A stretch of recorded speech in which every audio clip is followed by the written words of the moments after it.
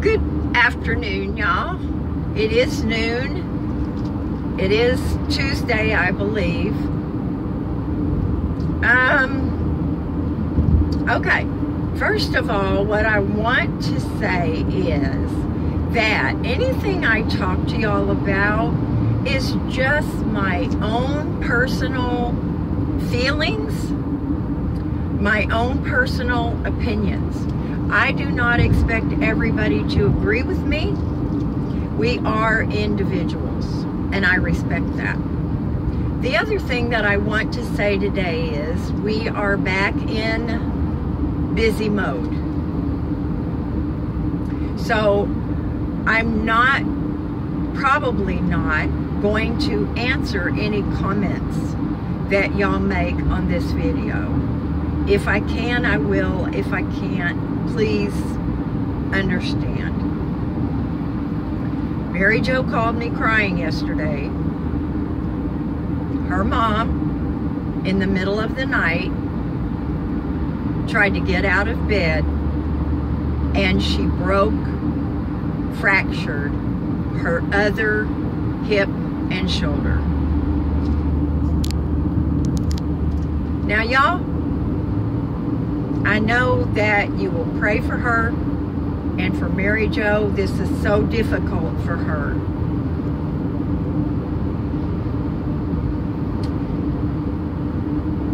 I am going to tell you what I think.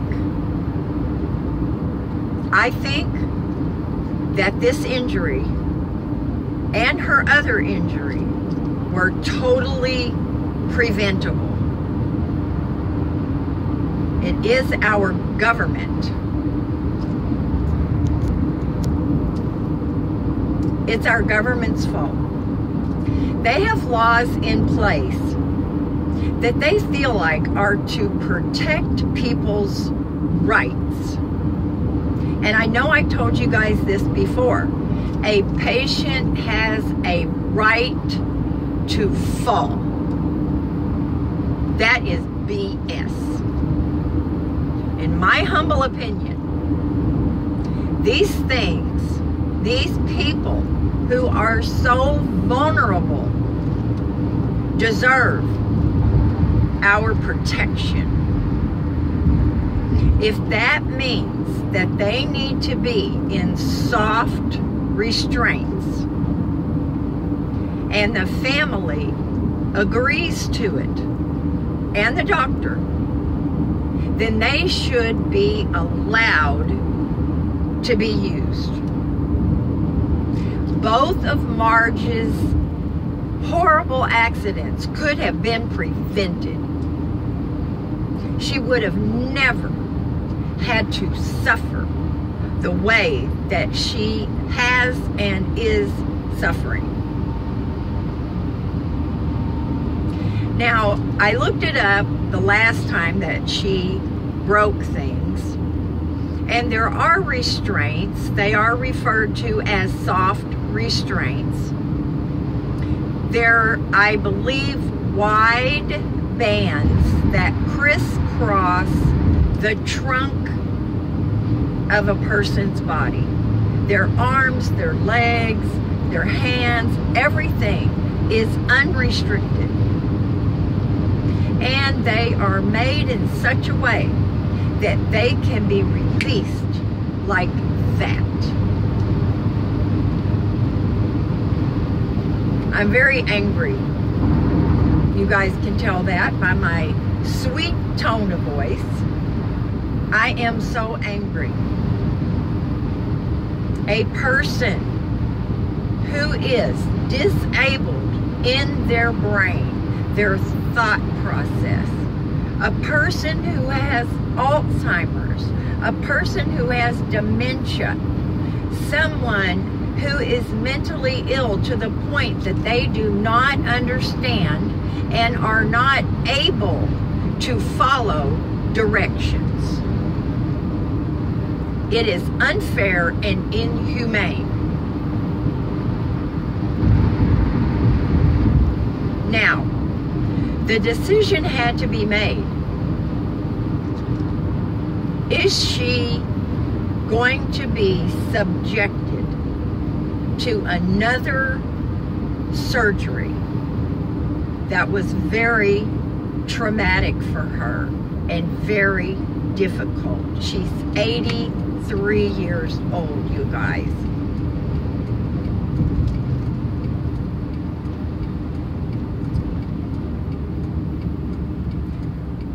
The decision's been made not to cause her any more pain and suffering.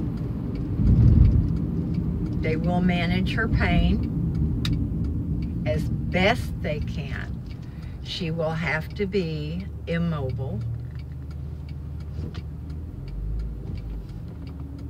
She will never walk again. She probably will never even be able to sit up in a wheelchair. And this could have all been prevented.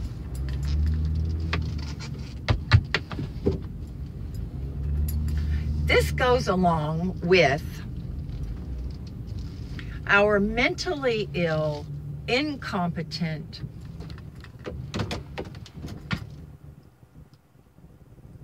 disabled folks that are on the street. Their lives are so horrendous. It's inhumane. I'm not saying, I'm not advocating rounding people up like cattle and sticking them in a, you know, horrible, horrible place. I'm not. But I do believe that they deserve humane treatment. They deserve to be able to function reasonably now, I know a lot of them don't take their meds. They get them, they throw them away. And that happens because they're not supervised. They don't have a chance to feel what it feels like to feel better. I know this, you guys know this from my own personal experience and other people that I've known.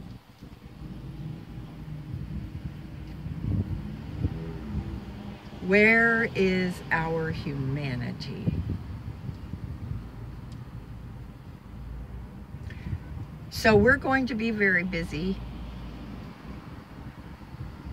Hospice is coming.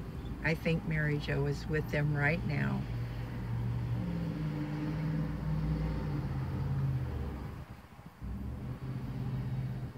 This breaks my heart.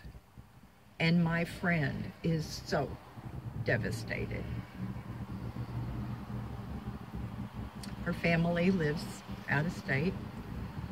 So she's basically, she's the sole caregiver. They make decisions together on things, but they're not here to help.